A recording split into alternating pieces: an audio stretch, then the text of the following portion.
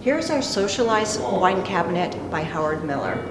As you can see, it's updated with beautiful new finishes available in several finishes for you to choose from to fit in any home. It has a beautiful gun detail for opening the cabinet. Within the cabinet, you're going to have stemware, wine storage, and additional storage within your glass shelf and wooden shelf in the cabinet.